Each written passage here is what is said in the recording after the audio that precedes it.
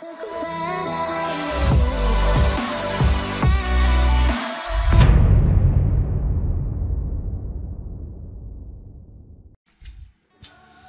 going on, everybody? We are back in my very messy basement, as you can see.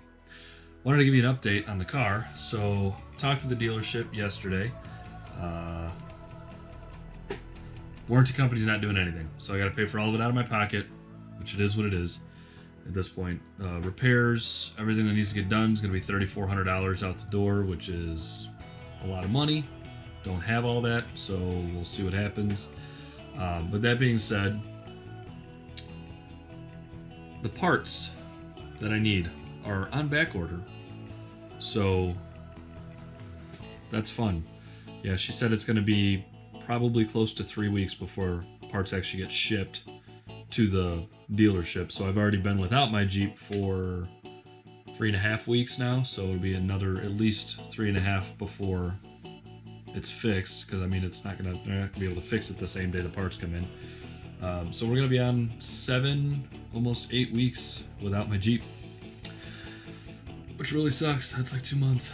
Um, but that being said, I'm not paying for the loaner. So I double checked on that. Asked her yesterday. I have to go in and re-sign the contract for it, but I will not have to pay for the loaner. So I am very pleased about that. Uh, just have to pay for the gas that I put into it. So, which kind of sucks because it takes 93, but gas mileage is a little bit better than my SRT. So just want to give you guys a really quick update. I know this is going to be a short video, short, sweet, to the point, but that's where we're at right now. $3,400 out of pocket. It's actually like 33.9, like 3,397 or something like that. Um, we'll say 3,400. So 3,400 out of pocket. Parts are on back order for three weeks. Probably another week to get it fixed. So we'll be out seven, eight weeks total before I can get it back. Free loaner, so I'm cool with that. And uh, yeah, I think that's it. Think that's where we're at right now. So it's been a very interesting winter, to say the least. Uh, did get my tax return though, which is good. So I have some of that that I'll be putting towards the Jeep. I did have to pay other bills, which I can understand. Like people would get that.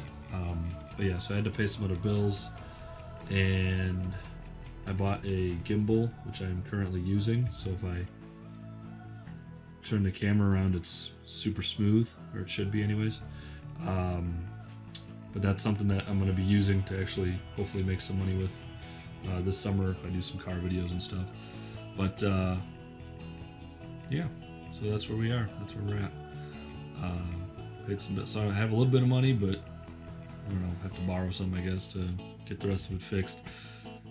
Side note, don't buy an expensive car if you can't pay for the expensive repairs.